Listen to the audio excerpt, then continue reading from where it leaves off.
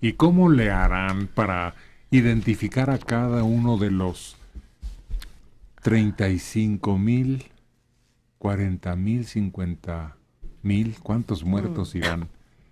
Porque los procuradores del país reunidos en Agua, en Acapulco, quieren recurrir al ADN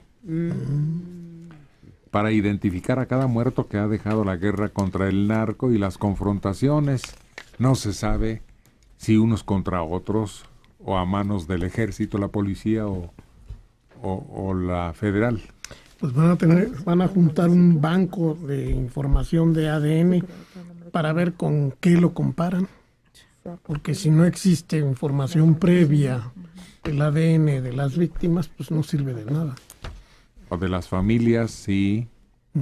Pues Marisela Morales Ibáñez dice que muchos se van a fosa común sin ser identificados. Y el 26, pasado mañana, sí. será la Conferencia Nacional de Procuración de Justicia. Crearán bases de datos precisos de perfiles genéticos, homicidios y personas reportadas como desaparecidas ya que hay mucha confusión en esto porque no es confiable el recuento que hacen los estados. Y los homicidios, más de 50 mil o menos. ¿Cómo vas a tomar ahorita ya hacia atrás cuando esto debió tener un orden desde el principio? No había ni siquiera capacidad en las morgues menos un expediente por cada una de las víctimas de este horror. Aquellas cinco cabezas, ¿se acuerdan?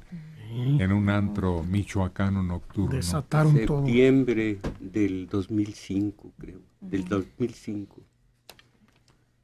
Sí, las mujeres, eh, las muertas de Juárez cuando empezaron, que había rastros, había mm, ropa, había armas, había todavía pues algo de, piel y de, rescate de, restos para sacar estudios de ADN.